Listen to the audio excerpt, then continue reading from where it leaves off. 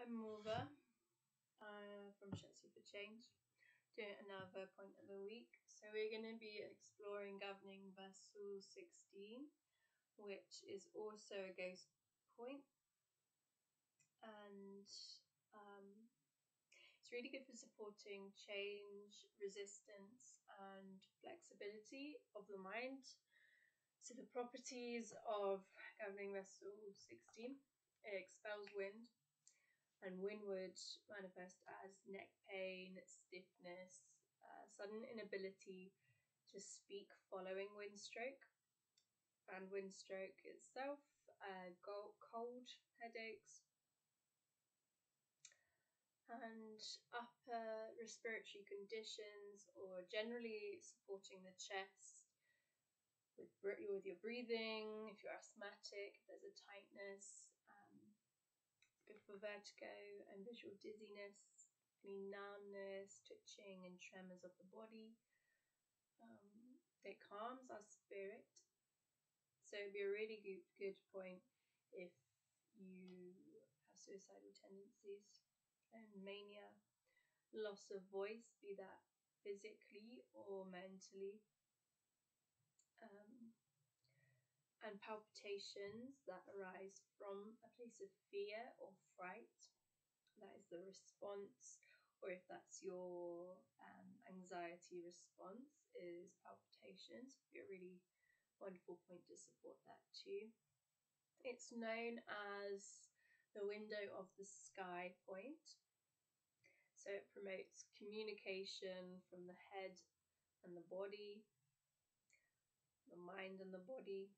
Um, it would be really good to support you if you have headaches, dizziness, throat swelling, earache, eye pain, nosebleeds, and just general a disconnection from mind and body.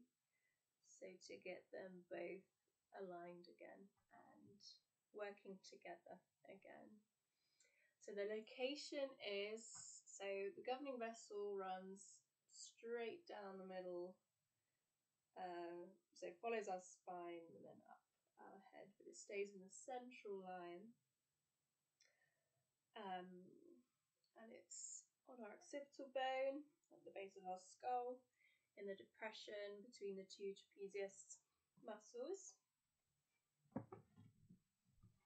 little swivel around to show you. So there's my bone between the muscles there. You'll find if there is a little dip that your finger will slide into. And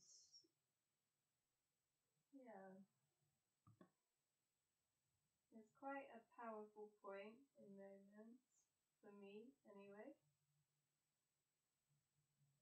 And it's one that you can connect with either again with your palm with the intention of reaching that point or your thumb or finger quite like it um, yeah I quite like to hold hold my head at the same time I feel it's quite nurturing. I find it quite nurturing to hold my own head. Mm, and as always, breathing into that space, into the point, and just allowing yourself to soften into it. Mm. I wanted to touch upon the feeling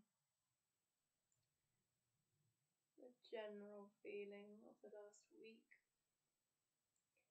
bringing a lot of change and opportunity to act upon your truth.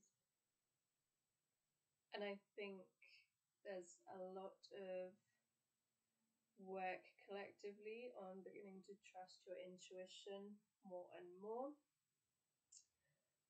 And for that to propel into a place where your mind and body are connected, your mind and body have formed that trust.